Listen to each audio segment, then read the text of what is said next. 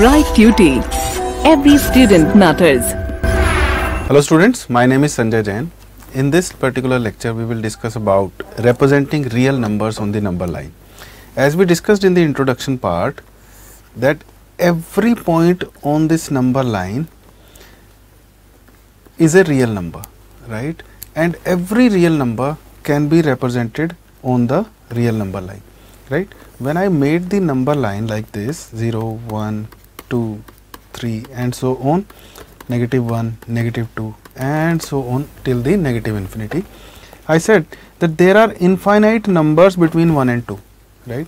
Then we discussed the number in the middle of 1 by 2 that is 3 by 2 right. There are infinite numbers between 1 and 3 by 2 right. Then we finally commented that between any two points on the real number line there are infinite numbers right. So, we will talk about those numbers and how to represent such numbers on the real number line. Now, let us look at the first example here. Visualize the representation of 5.37 bar on the number line up to 5 decimal places. So, we are supposed to represent 5.377777 on the number line and this we will use successive magnification. This is just a word you do not have to worry about it. It is uh, like this if you have got a magnifying glass and look at the number line then you will be able to look between the numbers right. You can magnify the number line so you will be able to look at very very small numbers between these two numbers right. So, let us discuss about 5.37777. If you have got this number line here 0, 1, 2, 3, 4, 5, 6 and so on. Now, if I ask you where will 5.37777 lie? Will it lie between 4 and 5? No, because it is greater than 5, this number is greater than 5, right, and lesser than 6. This number is greater than 5 and lesser than 6. So, it will definitely lie between this interval between 5 and 6. Now, the successive magnification says that if you take a magnifying glass and look at this interval only, this interval will look like this. Let us say this is 5 and this is 6. Okay. If you divide this gap between 5 and 6, now this is magnified image. When I look at this using a magnifying glass, let us say this is my magnifying glass, when I look at this portion, this will look like this, right? I have magnified it. So, and now I will divide 5 and 6, the gap between 5 and 6 into 10 parts. 1, 2, 3, 4, 5, 6, 7, 8, 9, and 10. So, these are 10 parts now 1, 2, 3, 4, 5, 6, 7, 8, 9, 10 right. Now, this first mark will give me 5.1, this will give me 5.2, this will give me 5.3, this will give me 5.4, similarly 5.5, 5.6, 5.7, 5.8, 5.9 and then 6. Now, tell me where will 5.37 lie? Okay, I am not talking about 777 here, I am just talking about 5.37. 5.37 is definitely greater than 5.3, right? And the number of it does not depend on these numbers of 7, it will definitely be lesser than 5.4, right? It will never achieve 5.4 value. So, it is lesser than 5.4, but it is greater than 5.3. So, the gap that I am concerned about is this one between 5.3 and 5.4. Now, I will again use a magnifying glass and look exclusively in this gap between 5.3 and 5.4. So, I will magnify this gap here using a magnifying glass. So, if this is 5.3 and this is 5.4 this is the magnified image. Magnified image. Okay? Now look between 5.3 and 5.4 we can again divide it in 10 portions. 1 2 3 4 5 6 7 8 9 and this is 10th portion right? Let it be 5.4 alright?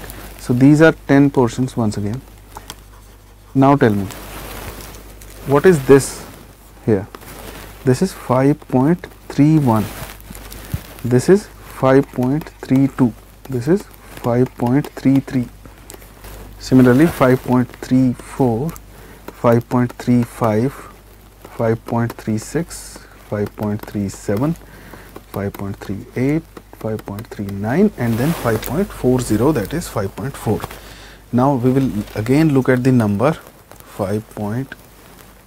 3 7 7 7 7 right? Now where will this number lie? Out of these intervals it will lie between 5.37 and 5.38 right? Because this number is greater than 5.37 yes and it is lesser than it is lesser than 5.38 so this number will lie between this gap. Okay? So i'll again magnify this gap here. I hope you have got the sense of what i am doing in this question right? Uh, you have certainly got the idea by now. 5.37 5.38 right? This is just the procedure that i need to follow to reach at this point. Otherwise i hope you have understood it already right? So i will divide this gap between 10 equal gaps. 1 2 3 4 5 6 7 8 9 and 10 okay? Out of these this will be 5.371 5.372 this will be 5.379 right? This will be 5.378 5.377 right look at this number this will be greater than this but lesser than this. So, it will be in this gap. So, I will magnify this gap this time. Now, this will become 5.377, 5.378 now, right. Again divide this into 10 equal parts. So, this part will be 5.3771, next will be 5.3772, this one will be 5.37 7 9 right? Before it it will be 5.3778 and this will be 5.3777 and the rest of the parts. You do it yourself the rest of the parts.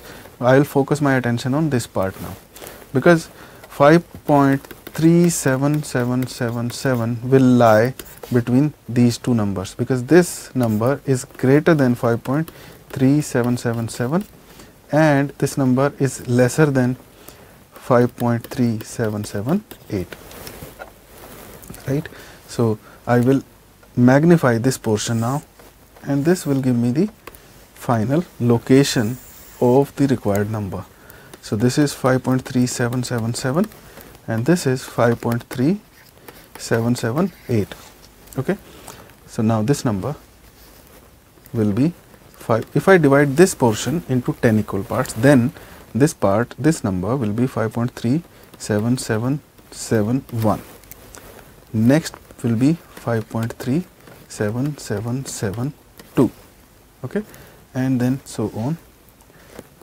Three, 1 2 3 4 5 6 7 so this number will be 5.3777 and another 7 here. Okay?